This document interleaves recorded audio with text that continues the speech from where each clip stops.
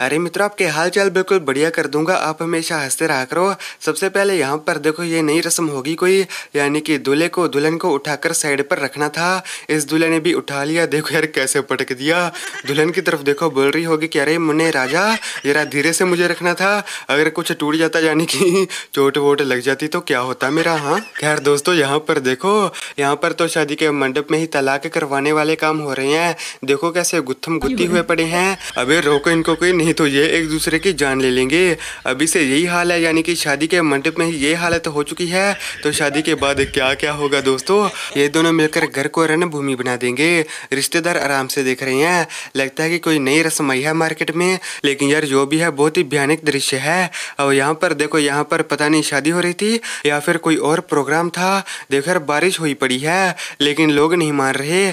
बोलते हैं कि बारिश आए तो आए, खाने को नहीं छोड़ेंगे। खाना तो खाकर ही जाएँगे, और सर पर देखो कैसे गद्दे वद्दे ले रखे हैं सभी ने।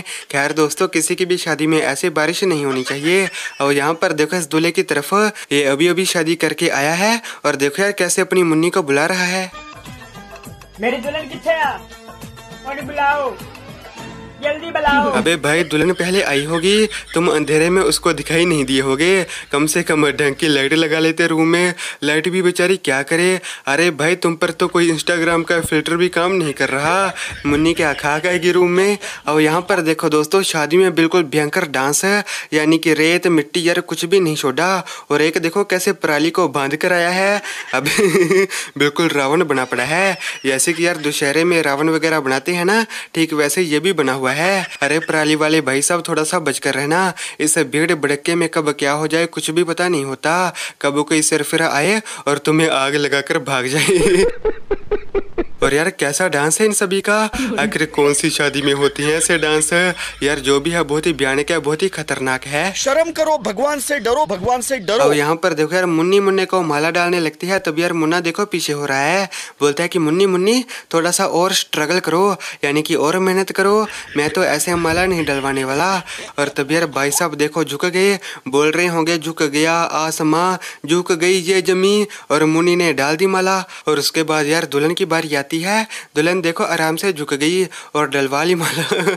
दुल्हन ने ऐसा कुछ भी पीछे होने वाला नाटक नहीं किया। और यहाँ पर देखो मित्रों, दुल्हा और दुल्हन माला लेकर बिल्कुल तैयार थे, बिल्कुल खुशी का माहौल था। तब यार पता नहीं दुल्हे की आँख में क्या गिर जाता है, शायद यार किसी ने नीचे से कुछ फेंका है। तब यार दुल्हन की तरफ़ देखो, यार बोलती है कि, मुन्ने मुन्ने, ओ मेरे मुन्ने, तुमको क्या हो गया? इधर देखो, इधर मेरी तरफ़।